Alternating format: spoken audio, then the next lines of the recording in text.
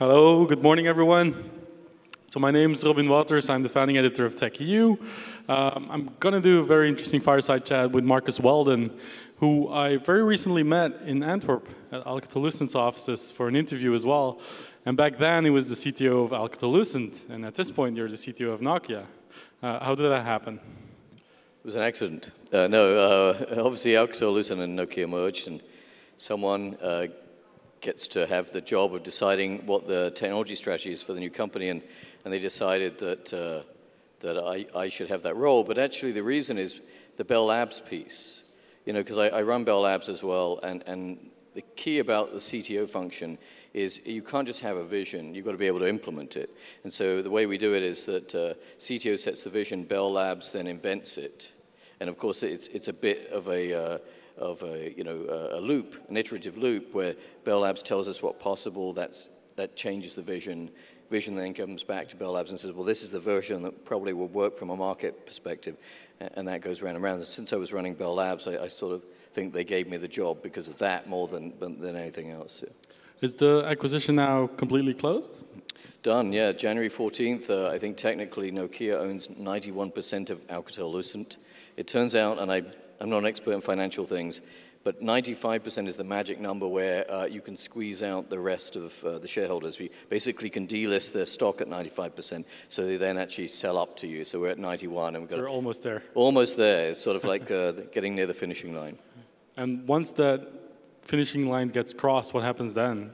Or are you already in the process of you know, transforming and integrating? Yeah, uh, it turns out legally you can operate one as one company. Nokia is, I think, officially the holding company of Alcatel-Lucent until you're 95% when you're the owner 100%. So in some ways, it means as nothing stopping us from operating as one company, and we do. We've appointed all the leaders, but there is a second board that exists that checks up on what we're doing for the minority shareholders. So, yeah. All right. On to the not so business part. Uh, but uh, essentially, because you mentioned Bell Labs, but for the kids out there, um, Bell Labs has been around for almost a century. Yeah. Um, so, what is Bell Labs? Can you kind of briefly explain what it? Yeah, Bell Labs uh, was was invented or created by back then Western Electric and AT&T, and its job was to invent the future of communications. It was as simple as that. In fact, the earliest documents for Bell Labs say uh, invent the future of telephony and telegraph. So that's how old we are. Telegraph is actually mentioned in our originating uh, documents. But for 90 years, we've been doing that, and uh, nothing's really changed. I think a little bit the web scale guys have taken some of the glitz, but I wouldn't say that they've invented as much as we've invented in terms of technology, technology elements. So we have eight Nobel Prizes. We, have, we won a Grammy last week, uh, so I was at the Grammys there. So we've got a couple of Grammys, an Emmy, an Oscar, National Medals of Science and Engineering. And it's not just for doing academic research, it's actually for doing real-world solution solving. But we let the scientists and engineers try and push beyond the boundaries of what's possible. So we challenge them and say, we want solutions that are 10 times better. Don't, don't stop short of 10 times. And, and generally, when you try and do 10x, it's, it's well beyond what you know how to do. Right? 2x you know how to do, you just double the capacity, you improve the performance of a, of a, given processor. 10x normally requires a new approach, and, and that's what we challenge them to do, and that's what Bell Labs continues to do. And is the acquisition from Nokia going to change anything in terms of Bell Labs? Is it going to continue to exist the way it does now? Yeah, it will. In fact, it gets a bit bigger. Uh, the maximum size of Bell Labs was about uh, 11 or 1,200 researchers. People think of it as this enormous thing, but it was actually never bigger than about 1,200 researchers. And we're, we're roughly at that point now after merging with Nokia, somewhere between 11 and 1,200 researchers. So we're sort of at peak size that we've ever been. And, and if you look at Rajeev Suri's comments yesterday, and uh, very proud to own Bell Labs, uh, Nokia is, it sort of reminds Nokia of the handset business. They had something called Nokia Research Center that invented all the generations of handset through the era where Nokia was, a, was the leading handset manufacturer. That Nokia Research Center has become Nokia Technologies now and is smaller. Uh, but Bell Labs reminds me of that era, but now it spans all elements of network, software systems, OSs, end-to-end -end device to cloud. So they're, I think, pretty excited about what they've got as an asset there. Um, we're going to dive into wireless technology in a sec, but I also want to mention that Bell Labs is also you know, very much thinking and implementing and then building the future of the fixed line uh, networks. Um, so where are you now? Like what? Yeah, fixed line. We've we've done this uh, amazing transformation. I think it's and it's a classic Bell Labs thing. We saw that copper, which everyone was declaring as dead, uh, and everything had to be fiber to the home. We looked at that and said, well, hang on a minute, it's going to take a long time to do that fiber to the home thing, and, and it's proven to take a long time, right? So we said, was there anything more you can do with copper? And we actually looked at the fundamental limit of copper from a Shannon theory perspective. And copper actually had a lot of bandwidth left in it, but it had too much interference. What was limiting the goodness of DSL was actually not intrinsic transmission, but interference, because all those, those copper wires are in one binder, and they crosstalk like crazy. So we said, well, can we remove that crosstalk using similar approaches uh, as we use in wireless? To eliminate interference over the air, can you eliminate interference on the wire? And we started that about 10 years ago. It's a hard math and computer science problem, or, or DSP, uh, electrical engineering problem, and we solved it. We can cancel all the interference between all the lines in a copper binder, and as a result, we can now do uh, one gigabit per second over over a twisted pair. And in fact, we've just proven we can do 10 gigabits per second. So that's, that's sort of the amazing part of, uh, of fixed. Fixed is back. We actually coined the phrase turning copper into gold. Uh, and I rather like that. But that, that's the type of stuff that Bell Labs does, right? Sees a limit. Everyone says you can't go further with copper. We saw it was a human need to reuse existing infrastructure because it would take too long to get to the fiber to the home. And we solve for those kind of problems. But then you have that breakthrough within Bell Labs. How long does it take to get to market? Yeah, now that's where we've been a little slower, but not because of the Bell Labs piece, because the market we exist in moves rather slowly up until now. Uh, it's about every decade that a, a, new technology generation is fully mature, right? So you, you might be trying a few things, but we, we operate on the timescale of decades, but that's changing uh, now, uh, partly because of SDN and NFV or virtualization technologies. We're splitting apart boxes so that the physical piece, the piece that does the signal termination, exists in a box, but the software piece exists in the cloud. And that allows us to scale those two separately. And sometimes we don't need to change the physical layer piece because that's working pretty well. We just need to change the algorithms and the control. And if we do that as a software instance in the cloud, we can, you know, we can take advantage of IT methods and, and do, you know, weekly or even monthly upgrades to that to add new features, new capabilities, new algorithms. So we're getting faster as an industry.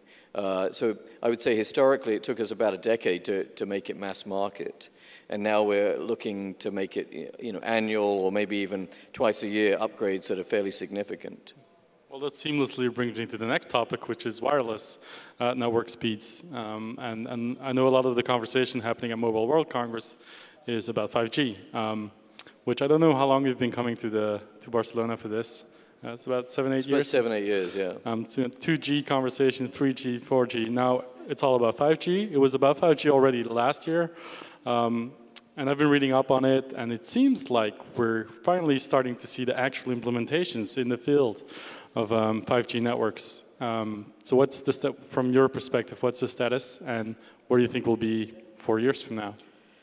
Yeah, 5G's been interesting, and, and you're right, it ties into the previous question. Uh, 5G is moving faster than we expected, uh, anyone expected, because we, we thought it would be this usual decade evolution. Most people agree LTE started somewhere around 2009, 2010 with the first deployments in, in I think it was in Sweden with TeliaSonera and, and Verizon in the US. Uh, so a decade later would put us 2019, 2020, and that's where 5G would happen. But in fact, it's, it's coming faster than that. And, uh, and the question is why, right? Well, why is it? Well, partly I think it's because of these approaches around virtualization and software-defined networking, which allow us to launch a, a, a, piece of hardware that we can reprogram. So we can take an early bet, pre-standards, on a piece of silicon that actually does that physical layer piece, the piece that terminates the signal. We can launch that now and reprogram it as the standards uh, become uh, mature. So I think that's, that's one of the reasons we can move faster. We can, of course, experiment with new software loads that aren't now tied to the hardware, so we can actually in some ways bring up a software load that might implement a new feature. If it doesn't work, we can revert to the previous software load or the previous you know, sort of LTE mode of operation. So we can try a little bit more dynamically in the marketplace. So I think there are technology elements about why it's moving faster. But I actually think that the primary driver is this sense that it's a different world we're going to create this time. It's the world of machines.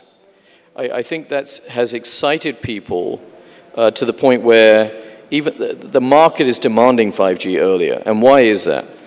The machine world, and I've said this before to you, as you know, I don't think IoT is about consumers. I think consumers will benefit from an IoT-enabled world, but it's about instrumenting our world so that systems, processes, businesses, enterprises, verticals, infrastructure is far more efficient. It's about knowing which route to take. It's about watering the crops correctly. It's about detecting loss of, of, of uh, valuable resources and optimizing around that. That stuff is going to change our world. We call it sort of the digitization of everything. And it's going to automate our existence in a way that we'll know exactly the right route to follow at what time. We will avoid accidents we will avoid wastage, and it'll be businesses doing that and offering that service to a consumer. So when I say it's about enterprise-led or vertical-led or whatever you want to call it, uh, business-led IoT, yes, it's businesses that are going to transform our existence and offer those services to consumers. And that has so excited people, and I can give you a few examples that are just super cool that that's driving the industry forward. It's almost like a headlong rush into a nirvana where we're going to live different lives as a result of this. And you wouldn't have said that with LTE. I think with LTE you would have said it's 3G faster. 5G is something about something very different than that. I, I like to think of it as creating the Star Trek existence. New experiences, new existences. We're really changing the world this time around. I think it's got people excited. It's interesting, interesting that you said the market demands it, that 5G development goes faster. Um, self-driving cars, drones are an example. They all need networks to connect to, obviously. Um, can you name some like out-of-the-box uh, use cases that you that think might surprise people? Out-of-the-box use cases. Uh, I, well, I think there's there are the ones where um, you will remotely control something, right? And, and that something could be the idea of remote surgery. So that's that's one where I think the virtual reality headsets. Again, I don't see them as being dominated by the consumer space. I actually see them, they will be used in that for gaming applications and some sort of entertainment applications.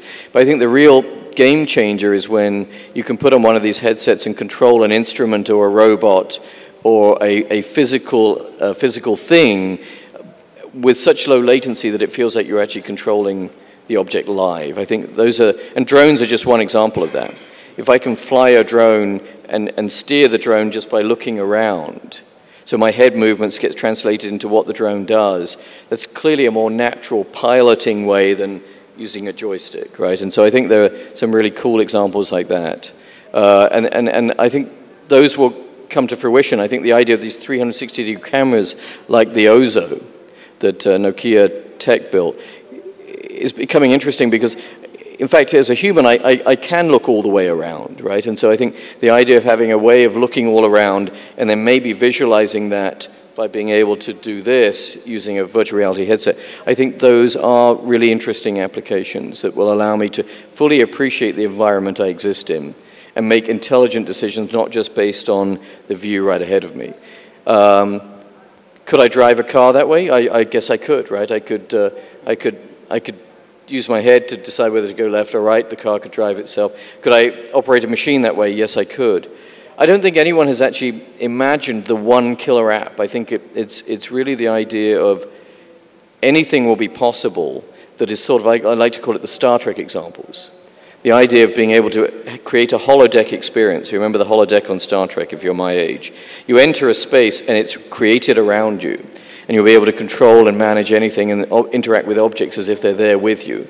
I think that's sort of the idea, but we'll be able to do that for any space anywhere, whether it's a factory that I'm interacting with, just trying to do sort of some sort of uh, uh, creation of an object, whether it's uh, a, a vacation experience that I want to have. All of these things I think will become possible because of very low latency interactivity and, and new visualization techniques.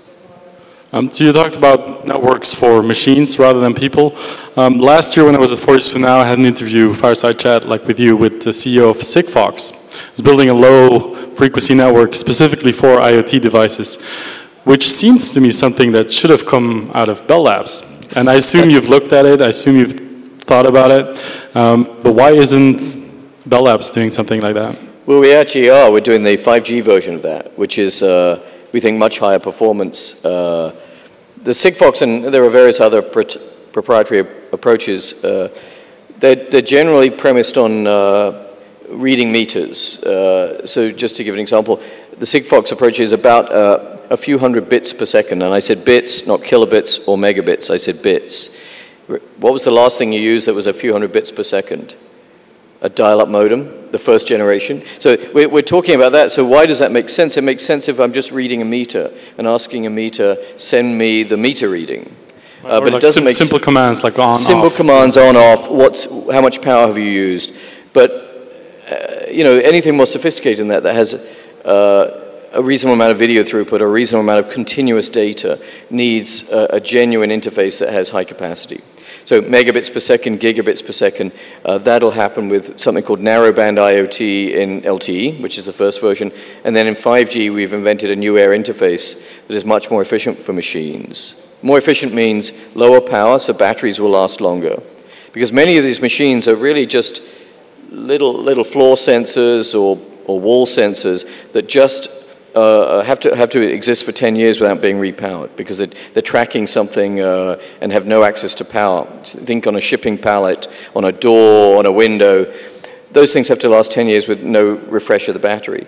So we're working on optimized air interfaces that will actually allow 10-year battery life with a one or two dollar device then the network will be able to interact with that uh, optimally. And so that's what we're working on as opposed to sort of proprietary technologies. Um, I'm going to go back to the conversation that we had about IoT the last time. Um, you've already alluded to it, uh, but the last interview, um, Marcus said IoT is great for enterprise, not so much for consumers. Um, I think you called Fitbit cute, and you called the Apple Watch curiosity. Um, so that was very quotable. Have I been proven wrong? Uh, the Apple Watch, I think, has been a, a, bit of a curiosity, right? It has, hasn't really taken off. I think the Fitbit is cute. Uh, but in some ways, what they will, what they, I think, breaking ground for is is a commercial version of those things that are actually doing genuine sensing of your state. Uh, I, I, think the Fitbit, with its step counting, which is its primary function, uh, it's not yet at the level where it's a real medical device that you could rely on the measurements of a Fitbit to actually improve your health. In fact, I wouldn't recommend relying on a Fitbit to Im improve your health. I mean, it, it's calorie information, and I think it's heart rate information. It's not where it needs to be. But they are precursors to the, the device that you might buy, that your healthcare provider might give you, that actually really does track your health. And so I think uh, they are good precursors, but in the end, they will be I think they will turn into industrial grade solutions, meaning your healthcare provider will give you one. And that will be associated with a service that actually really legitimately monitors your physiology in a way that is perhaps verifiable as opposed to just statistical, based on some probability that you're okay. So I think that's what I mean is industrial will, will be where the action is, but it'll leverage upgraded versions of devices like Fitbits that actually have more monitoring capabilities. And there's lots of interesting work about wearables and stickables and inside ingestibles that I think will become much more interesting than things like Fitbits and smartwatches. Um, your new CEO yesterday announced that they're launching a new fund um, under the banner of Nokia Growth Partners, the venture capital arm um, to invest specifically in Internet of Things. So do you think this is where the investments are going to go, like this new generation of digestible uh, healthcare, industrial IoT? Yeah, I, I, think so. I mean, to some extent, I hope they ask me, but uh, uh, but yeah, I think it'll be. Uh, what you want a commercial grade IoT? Perhaps it's the best way to say it. Meaning it's, it's got a service offered around it, it's got a verifiable set of capabilities and a, uh, that, that, that is sort of beyond best effort. Uh, it has a, proven capability to measure and, and, track whatever it is it's, it's going to measure and track, and there's a, a company standing behind that and, and, offering that perhaps in a standardized way, not in a proprietary way. So I do think that's where the action is, uh, is going to be around you know, industrial grade platforms that measure and instrument our world rather than sort of best effort consumer based measurement of our world. I think there's an interesting aspect with the consumer devices, and I'll give this as an example. Fitbit did a very interesting study where in San Francisco, people's Fitbits allowed them to track the earthquake. So, uh, they, and how did they track the earthquake? Because they saw people wake up at 3 a.m. and all together.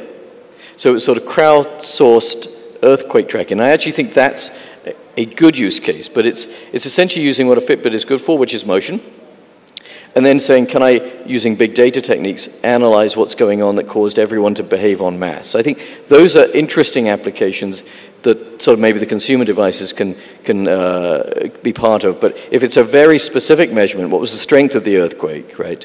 Uh, exactly what were the wave propagation of the earthquake? You'd have a specific device that was sort of optimized for, for taking that sort of measurement. And again, with physiology, it's okay to say how many steps did I take, but anything more sophisticated that, really relates to my physiology and my, my, uh, uh, my, my health at some fundamental level, I'll probably have an industrial grade device. So you can see them sort of being complementary. A big data inference based approach and then a real measurement based approach that might come from the industrial grade IoT. Does that make sense? That, that does make sense.